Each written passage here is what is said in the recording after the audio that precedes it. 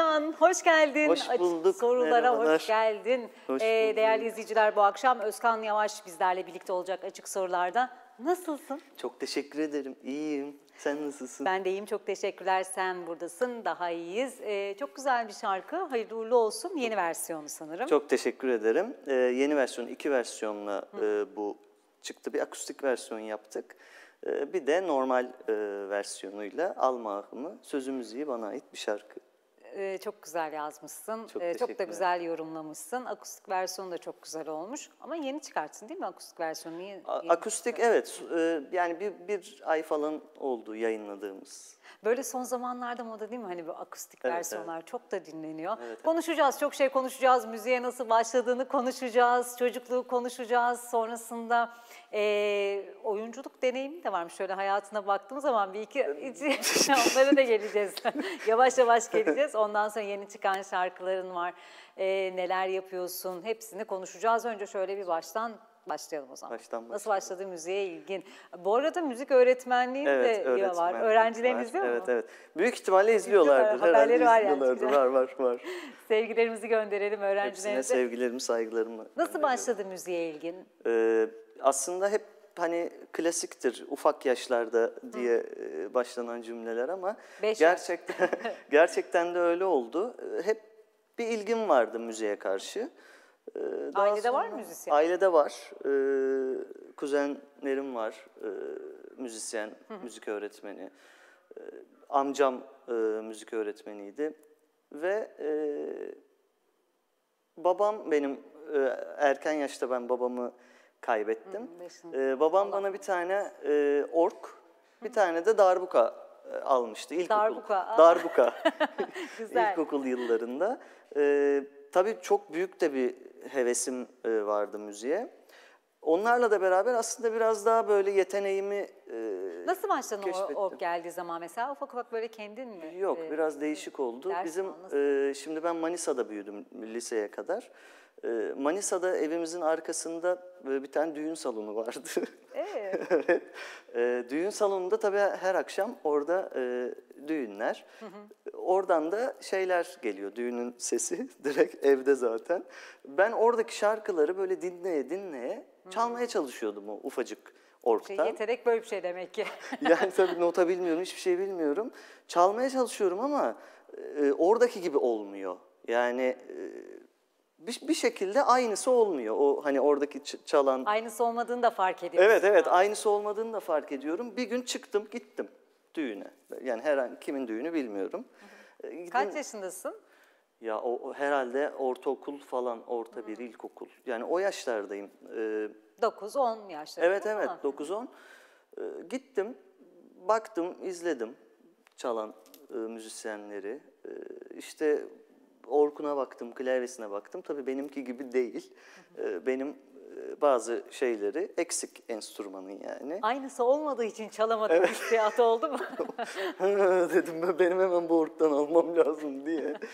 Ee, daha sonra e, buradan tabii annem de izliyor. E, sevgilerimi iletiyorum. Annemin de büyük böyle destekleriyle biz o orktan bir tane aldık. Ortaokul yıllarında falan. Sonra lise yıllarında arkadaşlarımızla böyle amatör müzik grupları kurduk. E, Ders ma- aldın mı peki yine kendi Yok, kendine? ders almadım. O arada kendi kendime tabii e, öğrendim ama çok izliyordum, e, çok dinliyordum. Okuldaki, lisedeki müzik öğretmenim de tabii Sonra biraz. duyduğunla çaldığının aynı olması nasıl bir hissiyat yarattı? Ya şimdi e, benim klavyemde, benim orkumda tabii o eksikler tamamlanınca bu sefer aynısı oldu ve çok sevindim. Hatta böyle daha güzeli olmaya başladı. Ben daha güzel çalıyorum başlayınca e, lise yıllarında artık e, böyle işte hani olur ya lisede hep bir arkadaşınız bağlama çalar, bir arkadaşınız gitar çalar. Derken e, biz kurulur. bir grup kurduk. Çok enteresandı, çok güzel de yıllardı. Kendi afişlerimizi falan tabii o zaman sosyal medya e, yok. Hiç Böyle liseler şey arası yok. yarışmalara katılma falan oldu Yok mu? ki şeyler? öyle Yok mu? yok. O zaman Manisa'da yarışma e, da yoktu. E, Kendi afişlerimizi hazırlardık, çıkartırdık afişlerimizi. Ondan sonra asardık Manisa'da her yere. Kendi konserlerimizi yapardık. Arkadaşlarımız nasıldı? gelir. Güzeldi. yani liseden arkadaşlarımızı Var mıydı o zamanlar bu zamanlara dair hayaller? Olmaz mı? Tabii vardı. Yani eee, hep müzik olduğu için hayatımda yani üniversite yıllarında ve hala hayatımda eee, başka bir eee, hayalim, hedefim eee, tabii ki daha çok çok daha güzel şeyler eee, var. Başta en önce sağlık, Tabii. eee, huzur onlar ayrı eee, bir konular ama Mesleki olarak. mesleki olarak e, çok hayal kuruyorduk. Yani şöyle söyleyeyim, biz konseri vermek için o bateriyi yani el arabasında bateri taşıyıp böyle hani olur ya el arabası, bahçe arabaları falan öyle gidiyorduk konsere. O kadar hevesimiz, o kadar isteğimiz vardı. E, İşte ses düzenleri bozulurdu, e, öterdi. Neler neler Zorluklar yaşar. içinde o konseri yapardık.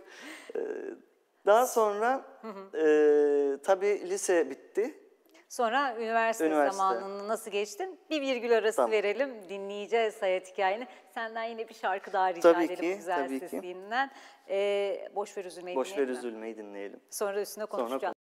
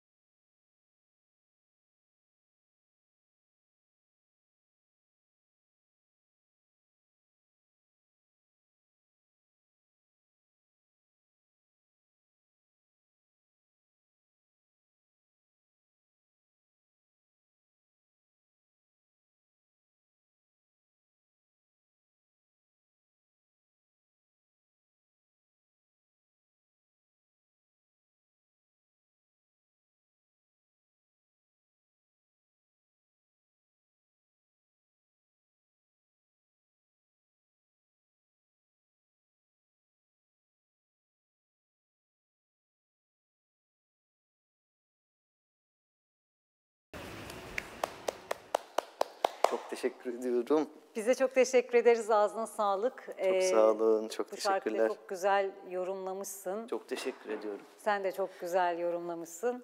Ee, Boş ver üzülme Boş daha ver, önce üzülme. Evet. Baha'dan dinlediğimiz bir şarkıydı ve sen e, Tekrar, tekrar, yorum. yıllar sonra tekrar e, nasip oldu e, diyelim e, bu şarkıyı seslendirmek. E, çok da mutluyum, gururluyum, Ne onurluyum. güzel. Ne güzel. Biz de alakalı. bu vesileyle tabii e, Geleceğiz zamanında evet Baha'da çok çok dinlemişizdir. Çok severek Evet, evet. dinlediğimiz bir şarkı. Baha'da zaten sesiyle, Tabii duruşuyla bu vesileyle senin Tabii ki. sayende anmış olalım. E, çok sevdiğimiz, saygı duyduğumuz e, sanatçılarımızdan bir tanesi. evet, mutlaka. Buradan da selamlarımızı, sevgilerimizi Sevgilerimizi, selamlarımızı gönderelim. e, Hatta izliyorsa açık soruları da en kısa zamanda bekliyoruz. Evet, e, şimdi üniversitede kalmıştık. E, biraz daha ilerleyen dakikalarda aslında Boşver Üzülme ile ve e, çok değerli e, abim diyeyim Bahabi ile alakalı biraz daha detaylı konuşacağım aslında. E, üniversite yıllarından e, devam edelim mi? Tabii tabii edelim. Üniversiteye geçelim. Zaten biz aralardan bir Evet, başa evet. döneriz, bir sondan devam ederiz. Hiç sen Ee, üniversite zamanında Üniversite, Ege Üniversitesi Devlet Konservatuvarı'nı kazandım ben. 5 yıl orada eğitim aldım. Tabii ki daha çok e, bu amatörlük orada daha çok profesyonelleşmeye e, başladı. Hocalarımızla birlikte sahneler, programlar. E, Daha sonra e, üniversite bitti ve işte Ege bölgesi, İzmir çevresinde birçok sahne çalışmaları e, yaptım. Hem müzisyen olarak hem e, vokal, solist, şarkıcı e, olarak. E, yani enstrümanı hiç bırakmadım aslında. Daha sonra e, 2009'lu yıllarda artık İstanbul'a tamamen yerleşme kararı aldım ve Neden İstanbul'a yerleşme kararı aldın? Ee, Şöyle albüm oldu. çıkarma fikri mi oluştu? Yok aslında şöyle oldu. Ben ilk e, Marmara Üniversitesi'ne yüksek lisansa başvurmaya geldim İstanbul'a. E, tabii İstanbul'da çok arkadaşım, müzisyen arkadaşlarım var. E, otururken bir arkadaşımla biz Marmara Üniversitesi'ne e, başvurduk. Daha sonra e, böyle oturuyoruz. Benim e, İzmir'den bir hocam benim İstanbul'da olduğumu duymuş. Dedi ki bana yine böyle popüler bir sanatçılardan bir tanesine eşlik eder misin? E, İşte konser var dedi Trabzon'da. Ben Marmara Üniversitesi'ne başvurmaya geldim. Ertesi gün Trabzon'a gittim. Ünivers- Üniversiteye başvurdum. E, Sonra döndüm Trabzon'dan. Birkaç ay sürekli İzmir'den İstanbul'a, İzmir, çünkü o tarafta da e, işlerim, sahnelerim vardı. Artık gel git gel git gel git e, yapmaya başladım ve e, çok önemli bir şey oldu aslında e, hayatımda. Bu arada Marmara Üniversitesi'ne giremedik. O Orada olma- kaldı. O olmadı. Tamam. Onu da belirteyim. E, daha sonra hocam e, yine İzmir'den hocam sevdiğim hocam aradı. E, Özkan dedi Kenter Tiyatrosu'nda dedi e, bir tane oyun var. E, Müşfik Kenter e, işte Orhan Veli şiirleri okuyor. Müşfik Kenter'e dedi e, orada işte birkaç beste var. Selma Andak bestesi. E, O, o bestelerle şiirlere eşlik ediyorum ama tabii o daha kısa onlar. Yani üstüne de daha kendim improvize ve kendi bestelerimden piyano e, çalarak Müşfik Kenter'e eşlik edeceğim Sahnede. evet. sahnede. Şimdi isim çok büyük bir isim tabii. Ee, ben e, sevindim ama biraz da tabii e, tedirgin de olmadım değil. İstanbul'a tekrar böyle sürekli gidip e, gel geliyordum zaten. Bir geldiğimde Haliç Üniversitesi'ne e, gittim. E, Müşfik Hoca ile tanıştık orada. E, yaklaşık iki buçuk yıllık serüven o gün başladı. E, Kenter Tiyatrosu'nda iki buçuk sene e, oyun müziklerine eşlik ettim. E, ve çok güzel bir ambiyans, çok güzel bir atmosfer vardı. E, işte eski Orhan Veli dekorları. E, ben bir tane kuyruklu piyano, e, Müşfik Kenter e, ahşap bir işte Nasıl bir deneyim olmuştur masada hayatında? e, oturuyor ve Orhan Veli şiirleri okuyor. tabii ilk başlarda çok e, heyecanlandım. Çünkü tiyatro e, orada aslında bir oyuncusunuz. Yani he- hem müzisyen hem oyuncusunuz. Bir de aynı sahneyi paylaştığınız Evet. isim Türk tiyatrosunun Evet. duayen sanatçılarından oyuncularından Şimdi biri. İstanbul serüvenim de daha yeni başlamış. Birdenbire e, büyük bir aslında e, çevre ve büyük bir e, olayın içine e, dahil oldum ben. Hep böyle e, tanıdığım simalar, gördüğüm e, simalar televizyondan, e, basından ve daha sonra iki buçuk sene biz e, Müşfik Hoca, ondan sonra Yıldız Kenter, Sadece müzisyen olarak mı eşlik etsin peki? ee, ya şöyle aslında bu oyunlaştırılmış bir şeydi. Ee, bir bende böyle bir ışık, bir de Müşfik Hoca'da bir ışık, karanlık bir sahne. Ee, ama çok koordineli bir şekilde e, böyle paslaşıyorduk yani. En sonunda da kalkıyorduk beraber e, el ele tutuşup selam veriyorduk. Yani çok benim için gurur vericiydi. Bütün afişlerde çünkü ikimizin adı yazıyordu. Yani Müşfik Kenter, Özkan Yavaş diye. Ee, sonra ben e, o proje başladığında İstanbul'a artık yerleşmeye karar verdim. Karar verdin. Evet. Diyelim yine bir virgül arası program akıyor, zaman geçiyor. Aa, evet, evet. ilk araya gireceğiz. Reklama gitmeden senden bir şarkı daha rica edeyim. Tamam. e, ah, Ah kalbim. kalbim. Hareketli bir şarkı. Ah kalbim.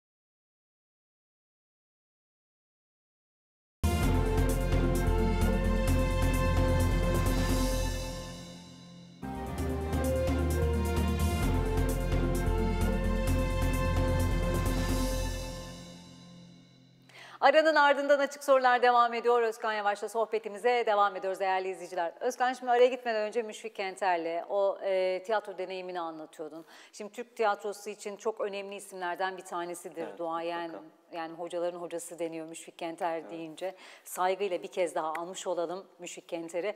Ee, sanat hayatına nasıl deneyimler kattı? Mesela Müşfik Kenter'in e, öğrencilerine çok farklı öğretileri vardır. Evet. Mesela oyunculukla ilgili e, mutlaka okumuşuzdur her yerde, röportajlarında denk geldim ben hafızama kazınmış bir sözü vardır. Önce iyi insan olun Evet. sonra iyi bir oyuncu olursunuz der ya Müşfik Kenter. Sana neler kattı sanat hayatın için? Müşfik Hoca'dan e, gerçekten çok enteresan. Müşfik Hoca merhaba bile e, dediği zaman işte o ses tonu var diye Müşfik Hoca'nın. e, insanın böyle içine e, işlerdi. Birincisi sahneye e, çıkmadan öncesine kadar sürekli tekrar ederdi. Sürekli prova yapardı kuliste. Sürekli sürekli sürekli. E, ve gerçekten çok çalışırdı. Yani her konuda e, çok çalışırdı. Bana çok e, önümde büyük bir örnek oldu. E, ve inanılmaz mütevazi, inanılmaz e, naif. Yani çok güzel e, bir insandı ve çok güzel e, Ne kadar zaman geçirdik. Şanslı yani. hissediyorsundur kendini eminim. Müşfik Ya benim evet hayatımda çok e, önemli bir durumdu yani. Hayatında mesela e, meslek sanat hayatının dinamiklerinden, olmazsa olmazların ilk onları tanıdım dediğin kimler var? Ee, sanat hayatımda yani benim hayatımda aslında e, tek sanat değil, e, tüm normal hayatımda da e, biraz önce şarkısını seslendirdiğim Boş Ver Üzülme'nin söz yazarı ve müziğini yapan Baha abi benim hayatımda çok önemli bir değerdir. Ben Baha abiden de yıllardır birlikteyiz. Ben İstanbul'a geldikten sonra yollarımız kesişti, iyi ki de kesişti. Ben çok dinlerdim Baha abiyi. Şarkılarını çok dinlerdim. Boş ver üzülmeyi de çok severek dinlerdim. E, Ve dediğim gibi yıllar sonra yollarımız kesişince Nasıl kesişti yollarını? şöyle e, konservatuar yıllarında e, sevgili Orhan Ölmez e, benim üst e, dönemimdi e, sınıf olarak. E, yani abilerimizdi. Kuzenimin de sınıf arkadaşıydı. Ben aslında o lise yıllarında amatör müzik yaptığımız yıllarda İzmir'e gider Manisa'dan. Kuzenlerimde falan kalırdım. E, Orhan abi de oradan tanıyorum çok yakın. Yani bahsettiğim 99 falan. Daha sonra İstanbul'a geldikten sonra şeyde Ulus'ta e, Orhan abilerin ofisinde e, biz Baha ile karşılaştık. O karşıla o karşılaşma yani. O gün bugün o gün bugündür. Ayrılmadık. Ayrılmadık. E, yıllardır bana e, çok büyük bir desteği var. E, hem Orhan Ölmez'in hem Baha abimin. Orhan Ölmez'e de Orhan, sevgilerimizi, evet Orhan Ölmez'e de selamlarımı, sevgilerimi iletiyorum. Ee, zaten stüdyolarda sürekli beraberiz, çalışıyoruz, birlikte e, müzik paylaşıyoruz, kayıtlar yapıyoruz. Ee, Boş ver üzülmede de bu gitar e, sololarını falan hep Orhan Ölmez çaldı. Ee, yani Alma Ahım'da Baha abi çaldı. Hep beraberiz aslında. Ee, Bunlar benim meslek hayatımda e, bu yaşadığım anılar, yaşadığım tecrübeler ve bu değerli insanlar e, benim olmazsa olmazlarım. Olmazların. Evet. Kendini şanslı hisseder misin peki? Çünkü mesela şöyle söyleyeyim. e, müzisyen olmak e, tamam yetenek, e, kabiliyet, çevre, biraz şans belki. Bir sürü müzisyen konuğumuz da oldu burada. Farklı farklı e, yaş deneyimlerinde.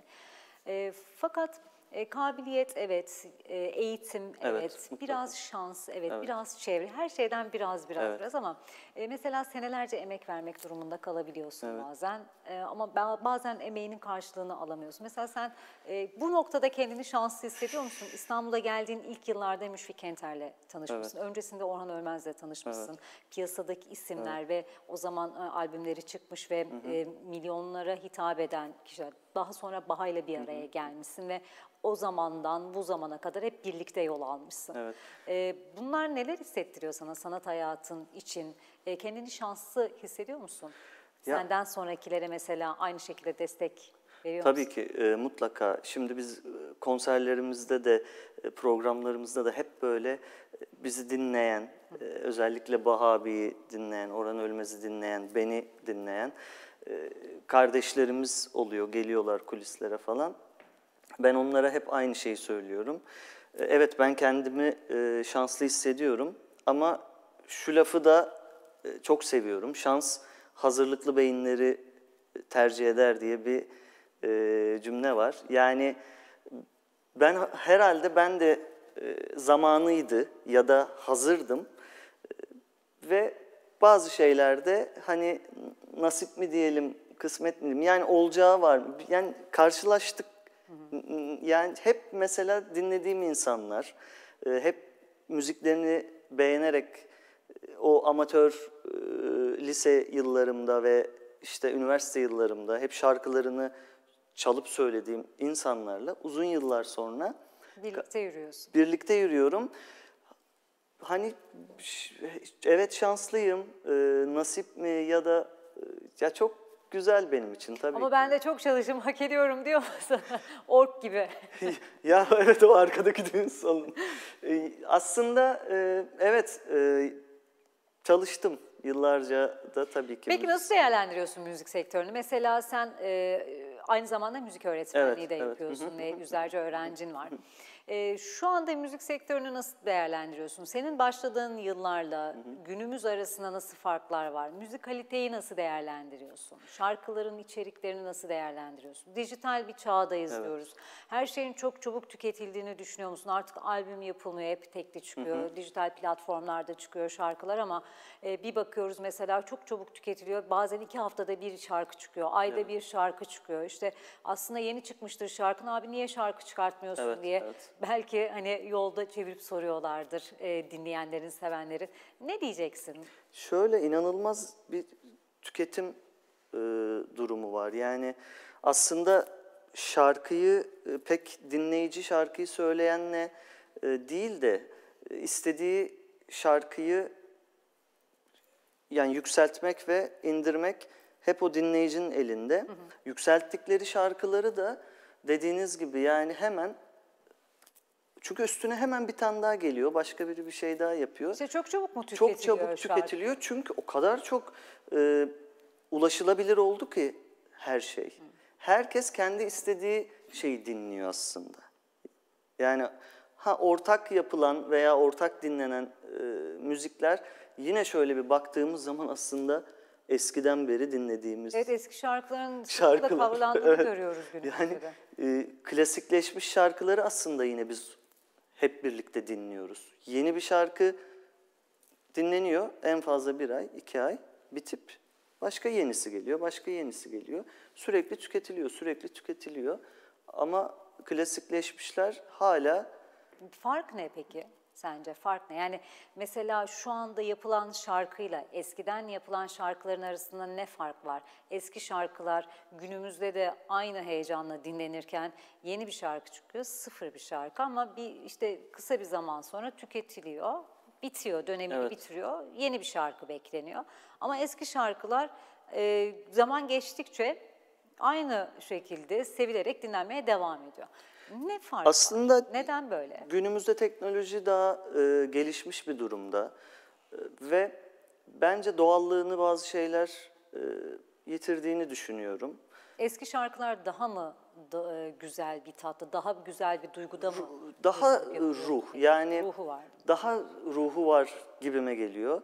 E, Evet yeni teknolojiler ve yeni sistemlerle çok güzel aranjeler, çok güzel Teknolojinin dezavantajları mı diyorsun? Şarkıların ruhunu mu aldı? Birazcık sanki öyle gibi. Yani e, akustik müziklerde bile, akustik formlarda bile artık o teknolojinin vermiş olduğu e, dijitallik ve e, dur yani farklı durumlar o stüdyodaki e, çalışma şeylerini de etkiliyor yani o verimi de etkiliyor. Bu da bazen ruhu o şarkıdaki ruhu değiştirebiliyor. Yani o Peki, doğallığı değiştirebiliyor. Yeni jenerasyondaki e, müzisyenleri nasıl değerlendiriyorsun? Mesela beğenerek dinlediklerin var mı içinde? Müzisyen olarak e,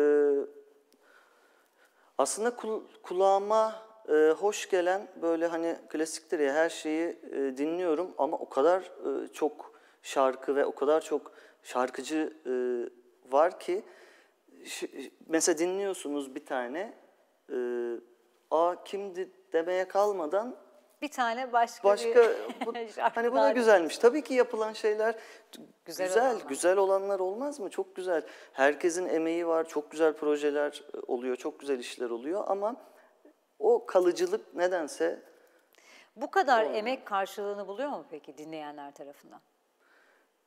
yani pek acı ama Gerçek bu. gerçek pek bulmuyor. Yani çok emek veriyoruz çünkü. O stüdyolarda e, aranjeler, düzenlemeler, kayıtlar, e, bir şarkıyı yapmak için aylarca çalışıyoruz. E, Ve bazen dinlenip bitip gidiyor.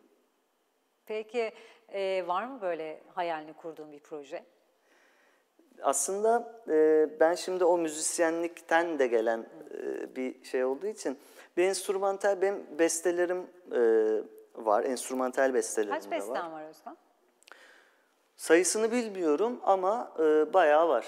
Yani yarıda kalmışlarla beraber e, bir bayağı vardır yani. Şimdi tam sayı veremiyorum ama var. Yani daha böyle gün yüzüne e, çıkmayı bekleyen besteler var. Dediğim gibi enstrümantal şarkılarım var. Onları böyle bir tek piyano belki e, hani yapabilirim. O, o öyle bir proje böyle istiyorum. Kulağıma da hoş geliyor.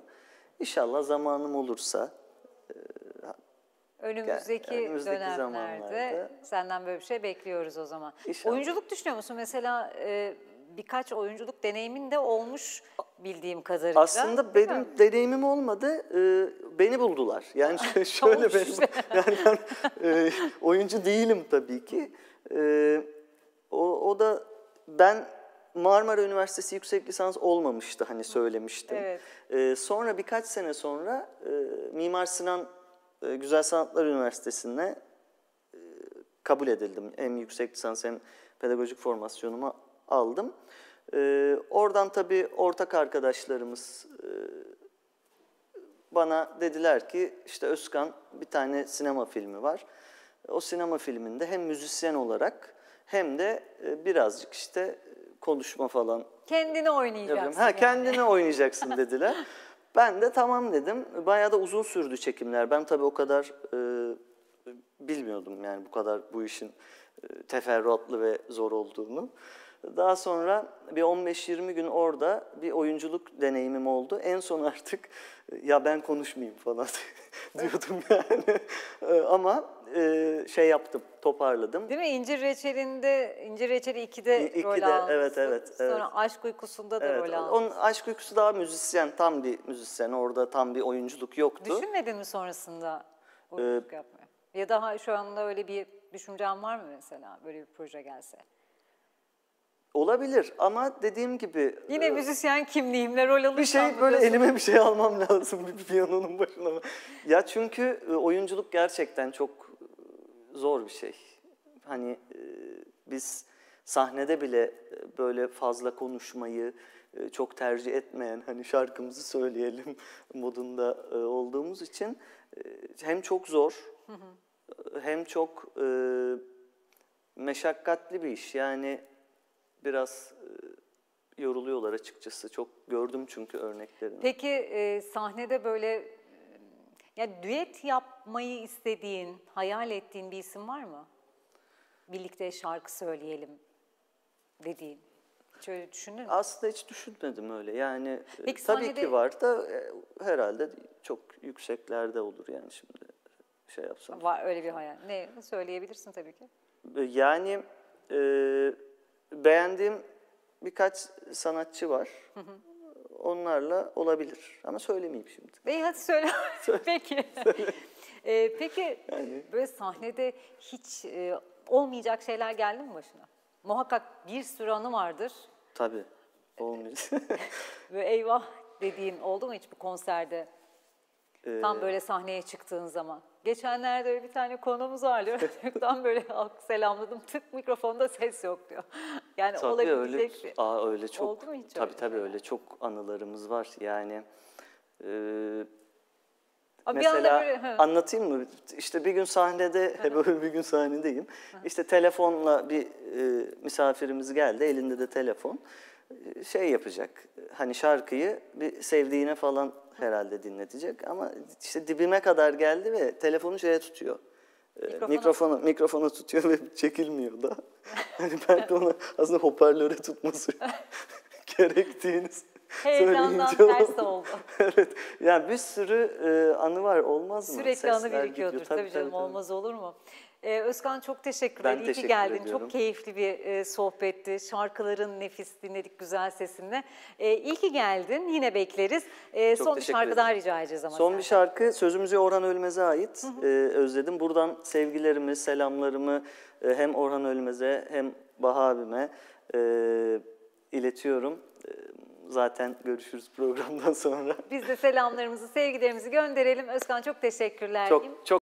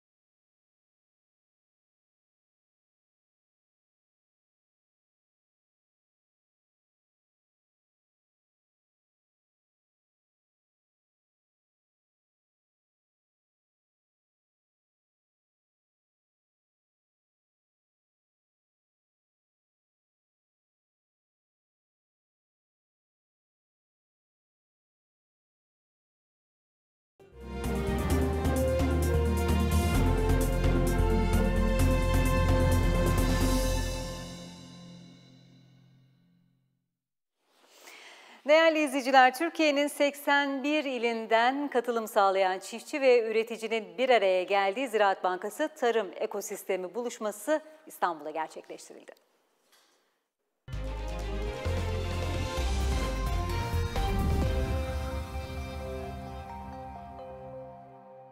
Üretici ve çiftçiyi buluşturan Ziraat Bankası Tarım Ekosistemi Buluşması, Ziraat Bankası Genel Müdürü Alpaslan Çakar'ın açılış konuşmasıyla başladı. Çakar konuşmasında tarımda su israfının önlenmesi amaçlı modern basınçlı sulama sistemlerinde son 2 yılda 27 bin üreticinin 5.6 milyar TL kredi kullandığını ve bu kredinin faizsiz olduğunun da altını çizdi.